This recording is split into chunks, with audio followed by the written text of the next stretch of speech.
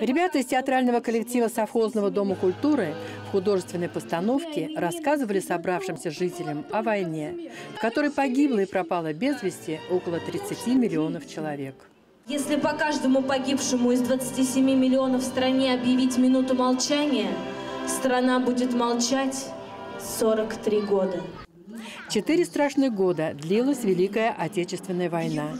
На полях сражений гибли солдаты, умирали от ран. Страдали мирные жители, но страшнее всего было детям. Не забыть, как мать вели. Я слышал крик ее вдали. Братишка был еще живой. Он бился, звал отца. Штыком фашистский часовой столкнул его с крыльца. Со слезами на глазах смотрели люди старшего поколения на выступление ребят и вспоминали свое детство, ведь им, как и сегодняшним юным артистам, было 12, 10, 8 и меньше лет. Все поломали, не верилось, что это все начинается. Всех хочу вспомнить. У меня дядька погиб. Папа на войне был, умер уже после, правда, дома, но тоже на войне был. Папа пришел с большим осколком, таких скулах, папа. Вот, пришел наш папа, а один осколок у него ходил по ребрам.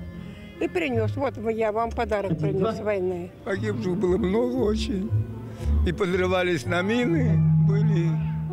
Вот тоже, которые уже еще пацанами были, как я. Вот брат у меня погиб тоже с 29-го года. На мине подорвались. Минуты молчания почтили собравшиеся всех тех, кто не вернулся с полей сражений, умер от ран, был убит на оккупированных территориях. Затем и взрослые, и дети, пожилые, которым и передвигаться-то тяжело, возложили цветы и зажгли свечи памяти к подножию своего обелиска, на котором высечены имена погибших.